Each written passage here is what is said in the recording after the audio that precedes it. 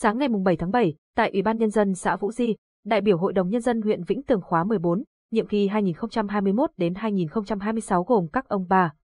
Nguyễn Như Thảo, trưởng phòng tài nguyên và môi trường, Bùi Đức Thu, phó bí thư thường trực đảng ủy, chủ tịch hội đồng nhân dân thị trấn Thổ Tang, Trần Sơn Long, trụ trì chùa Tùng Vân, Thổ Tang đã thực hiện tiếp xúc cử tri trước kỳ họp thứ 9 với cử tri các xã, thị trấn, Vũ Di, Vân Xuân, Vĩnh Sơn, thị trấn Thổ Tang. Cùng dự hội nghị còn có đồng chí Nguyễn Quang Tuấn, Ủy viên Ban Thường vụ, trưởng Ban tuyên giáo huyện ủy, lãnh đạo một số cơ quan, ban ngành của huyện, xã và cử tri đại diện 4 xã, thị trấn trên. Tại buổi tiếp xúc, các đại biểu được nghe dự kiến nội dung, chương trình kỳ họp thứ 9 Hội đồng Nhân dân huyện, đánh giá tình hình thực hiện nhiệm vụ phát triển kinh tế xã hội sau tháng đầu năm, phương hướng nhiệm vụ sau tháng cuối năm 2022 trên địa bàn huyện. Sau khi nghe dự thảo báo cáo kết quả thực hiện nhiệm vụ kinh tế xã hội sau tháng đầu năm 2021 trên địa bàn huyện, cử tri 4 xã bày tỏ niềm vui mừng, phấn khởi trước sự phát triển của huyện nhà, trên tinh thần cởi mở, thẳng thắn, cử tri bốn xã, thị trấn.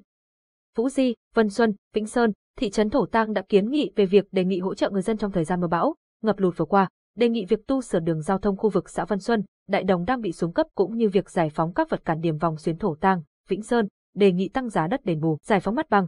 Thay mặt tổ đại biểu Hội đồng Nhân dân huyện, bà Nguyễn Như Thảo, trưởng phòng tài nguyên và môi trường huyện đã trực tiếp trả lời và làm rõ những vấn đề mà cử tri quan tâm, đồng thời yêu cầu các cơ quan chuyên môn của huyện, lãnh đạo các xã giải đáp các ý kiến, kiến nghị của cử tri thuộc thẩm quyền.